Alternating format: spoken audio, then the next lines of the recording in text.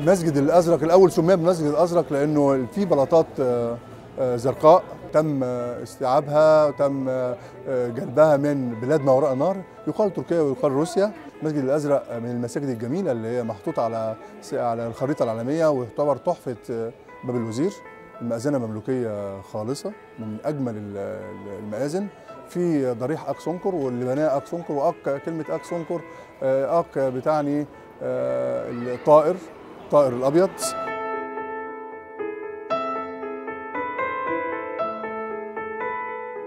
أهم حاجة ترممت القشاني القشاني نفسه البلاطات الزرقاء كانت واقعة.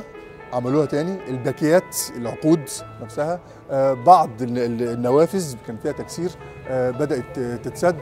آه، يعني الحجارة نفسها.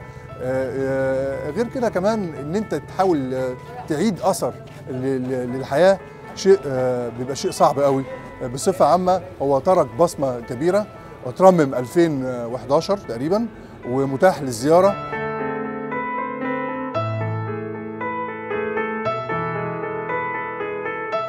المساجد المملوكية بتتميز بوجود الباحات المفتوحة والمكشوفة.